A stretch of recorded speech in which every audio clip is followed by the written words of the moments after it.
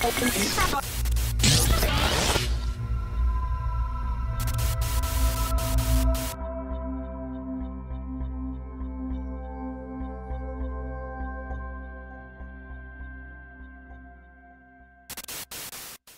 Pacific Ocean is the largest expanse of water on this planet, and this is where you're going to be pushed, and pushed much further than you thought you could ever go.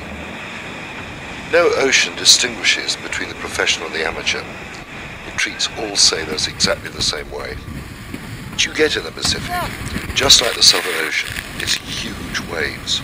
In fact, the 27 meter wave is found mainly in the Pacific, in the North, and in the Southern Ocean. In fact, the 27 meter wave is found in the Southern Ocean and in the North Pacific more than any other place on Earth.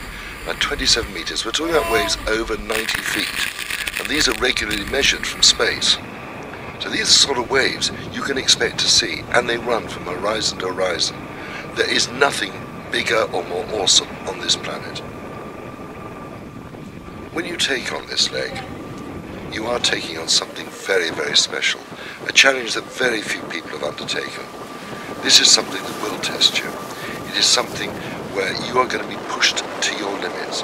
Constant demands of the boat, the constant large waves, the constant strong winds, these are things that make the difference between men and mice. This is something very few people have tackled. Why did you become one of them?